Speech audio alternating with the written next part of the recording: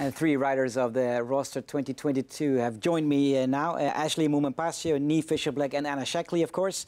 And we would have loved to introduce you also to uh, Blanka Vas, but unfortunately due uh, to a close contact, she could not join us today uh, in our studio. Um, but you will definitely see her in the upcoming season with her promising uh, talent like Danny just stated. Um, and we saw um, Blanka also in the cyclocross season.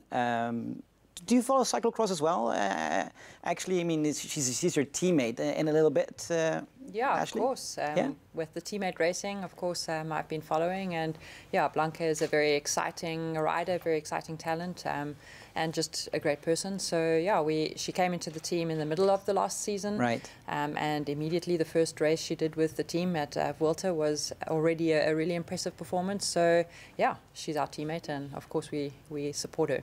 How did she do fitting in in the middle of a season within a team, which is already a team? How, how, how did she do that?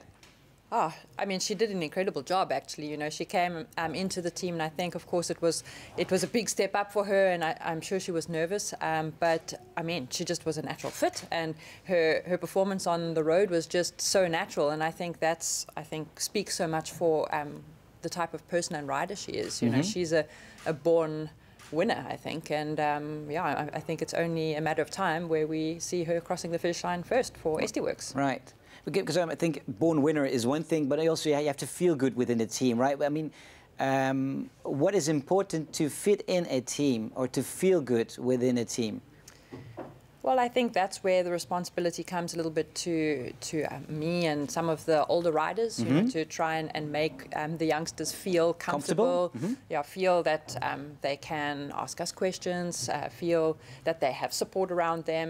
Um, and I think, you know, when Blanka joined us for the first race, uh, she um, she roomed with Anna and myself, and I think we, we tried our best to make her feel as comfortable as possible. She was, of course, um, you know, quite shy because um, I think, you know, English is not um, her first language, mm -hmm. you know, mm-hmm. so communication can be a little bit of a challenge for her. But we we did our best to to try and help her feel comfortable. And I think that the way she performed in the Vuelta in the first race showed that that she must have felt good in the team mm -hmm. uh, mm-hmm. because she she really had a great performance and yeah we enjoyed spending time with her and getting to know her and yeah I think she will just grow from strength to strength as she as she grows in confidence and as she obviously becomes more and more adjusted in, in the team. Right. And how did you how that work out for you as a youngster within the team last year as well with uh, our experienced uh, Ashleigh, for instance? How, how did it work um, teaming up?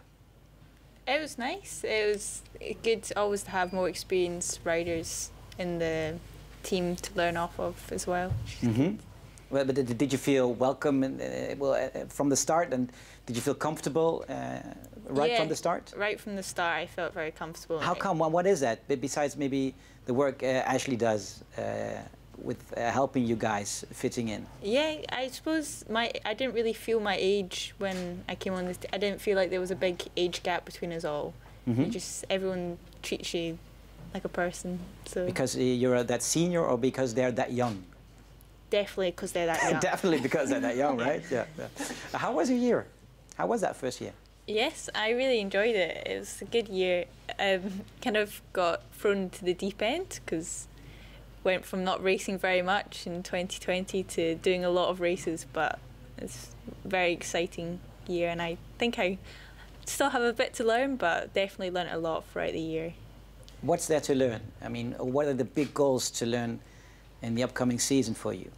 Just learning more how to ride as a team and doing my job to help my teammates mm -hmm. get mm-hmm. on that podium and win the races. And how can you improve that? I mean, can you, can you specify that? Um, what do you need to do or we need to learn to improve that? I suppose it's just um, learning off my teammates right. who all have the experience. Uh-huh. Yeah, I felt bad a few times this year because Why? there were some times in the race where, where I gave some firm guidance to uh, to Anna in the race. You call that firm guidance? I mean, you were swearing. no, I mean, just sometimes a little bit of. Uh, a, quite a big nudge, like, come on, Anna, get to the front. Um, but yeah, that's also like a challenge for us as, as the more experienced riders is to find uh, the balance between obviously guiding and helping them to learn, but also uh, not to be too hard, but it's always good after the race if you yeah. felt like, in my case, maybe where I was, maybe on occasion a bit hard then to Never go and talk to, to Anna and say, and I didn't mean it in a personal capacity. I'm just helping you to grow. So yeah. We're still friends. You're still friends. I'm, I'm happy about that. Uh, how was your year, uh, Niamh? Because, well, first of all, you renewed your contract, right? Yeah, yeah. So yeah. Uh, three more years? Yeah, three more years. So yeah, I, I mean, yeah, I can say that last year was a, a good year um, to, to sort of have that outcome from it. Um, but yeah, and I'm also really happy with the year I had too. Um, well, obviously, you were the, the best youngster in the World Tour, which is a, that's a, that's a big example uh, and maybe for the future very promising. Yeah, yeah. Um, I think I've said it. I think it is really something for me to look at that that that uh, prize I got last year um, to show how consistent I was through the year, and I think it, it shows that I I took some, yeah some big steps just in 2021. So I think there's more steps to come in 2022, and yeah, as Anna Shackley says, more to learn and and um, yeah, that's all part of being the young riders on the team where we we know we're here to learn and we know the young riders. they, they call you the puppies, right? Yeah, you, yeah, too, yeah. the puppies. yeah. But I mean, uh, uh, still, of course, uh, there's a lot to learn uh, when you're young. But on the same uh, hand, I mean, you're part of the number one women's team.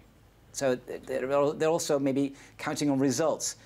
Are they already counting on results from your side, or is it just okay, leave them and let them learn, and we'll see them growing in the upcoming years? What do you think? Yeah, I mean, uh, you put us in this sort of team, and and and we we we are with our teammates winning, and we, we always have that sort of winning together vibe, and and of course they know, and, and we know ourselves that we're never going to lose that sort of winning want fulfilling to want to win ourselves too. So they don't need to push it on us, I don't think, and they know that uh, when the opportunity comes, does come in a race, um, then for sure that we will grab it with two hands, and, and I'm sure that uh, both us puppies will get, get a chance in the near future to, to grab that win. Yeah. Cool. We'll look out for that. Um, at the same uh, time, uh, Ashleigh, it's it's your final year, right? 2022. Yes. yes my final year. Yes, and, and that's a definite yes. Yes. yes, that's a definite yes. Okay, I, I, read you loud and clear. You have to uh, be sure about it because I think if you if you don't if you start to doubt it, then I don't know. It's not a good feeling. So I think like even Anna can speak from experience. You need to make that decision and and feel yes. I've made it, you know. Okay, uh, uh, how does that feel? Um, uh, made to, to having made that decision for you. I mean, if it's if it's finished in October, maybe then it's it's done. Your career is done as an active rider. Well, yeah. I mean, for me, it obviously has been um, a little bit more difficult to find, you know, the time to retire because although I'm I am the oldest rider on the team, um, and you know I'm getting older. The reality is I'm still very young in cycling. You know I only got into cycling uh, much later in life, yes. um, only after studying um, a degree. So I still feel quite young on the bike, and I and I don't feel like I've really hit um, you know, I'm not, I'm, I'm still improving, you know, over time and still growing as a cyclist. So it is quite difficult to hang up the bike when, when you know there is still chance to progress. Um, but yeah, I just feel like um, I've had an incredible uh, journey as a cyclist. I've grown so much as a person.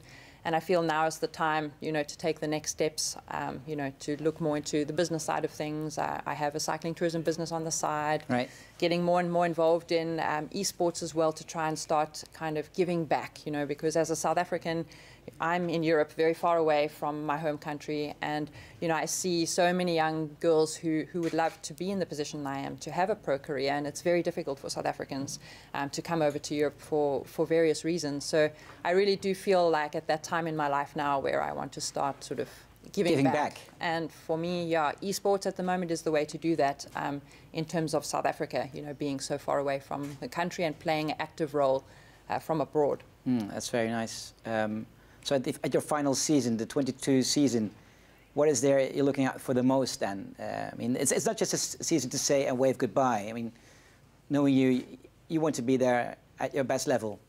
Yeah, of course. I'm looking forward to the year. Um, you know, I've been riding for quite some years, but I am yet to win a World Tour race. so that would be a great way to, to end off the off my career if I could get that uh, elusive World Tour victory and then just have an amazing year with uh, with mm -hmm. my team, just to enjoy the riding, to to see the youngsters grow. I mean, I really enjoy seeing um, the young talent come through. I think it's a, it's a part of cycling that also motivates me a lot to be able to play some kind of motivational role within the team. Um, so yeah, I look forward to, to riding with my teammates and winning many races together, whether that's me or another teammate. Um, I think it, it will be amazing either way. So what's the best advice you can give them to wrap it up? The best advice? Yeah. well, I mean, just to keep to keep having fun. Actually, that's the most important thing. Um, I think that you know, to cycling is such a tough sport. You know, there's so many challenges that, that come along the way. But um, as long as you really have passion for it, you can always find your way through the challenges. So it's to continue to keep that fire. yeah, and you still have that fire. I'm, I'm sure. Are you having fun as well? Yeah. Certainly. Yeah. Even yeah, with this weather, fun. training outside. Uh, quite used to this weather. You're used to that, that as well. You. Yeah, no, it's still fun. It's still fun. it's still fun. As long as it's fun, it will be good. Thank you very much. Wishing you the best of luck in the upcoming uh, season.